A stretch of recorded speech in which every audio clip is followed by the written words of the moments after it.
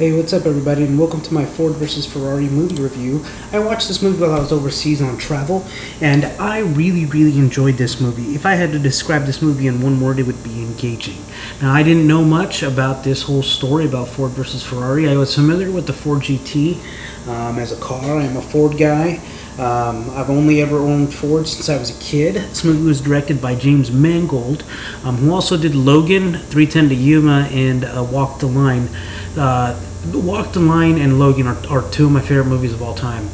Um, Matt Damon and Christian Bale, I think they're both going to get Oscar nominations. I think Christian Bale for lead actor, Matt Damon for best supporting actor, possibly a director nomination for James Mangold, in my opinion. Uh, Jon Bernthal was great as Lee Iacocca. Again, this is a true story. I didn't know what the story was. I didn't even know what the results were going to be if the, if Ford was going to win or if they were not going to win. Um, I don't know why people give Matt Damon a hard time sometimes. He plays Carroll uh, Shelby, and uh, Christian Bale pay, plays uh, Ken Miles. Th- this this whole story was completely engaging. It, it was um, beautifully directed, beautifully acted.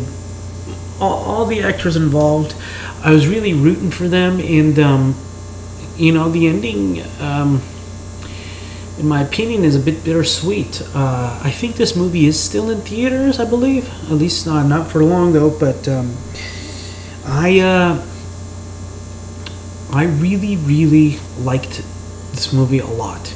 Um, on the Starstrider scale, I give this movie a 90 out of 100. If you, if you have a chance to go see this in theaters, if it's still playing, um, I don't know. Uh, like I said, I'm, I'm very far behind with my movie reviews. I'm trying to do a end of the year catch up here. Um, I would recommend going to go see it.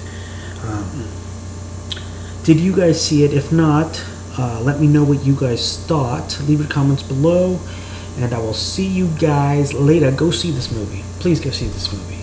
We need more movies like this. Okay? Bye.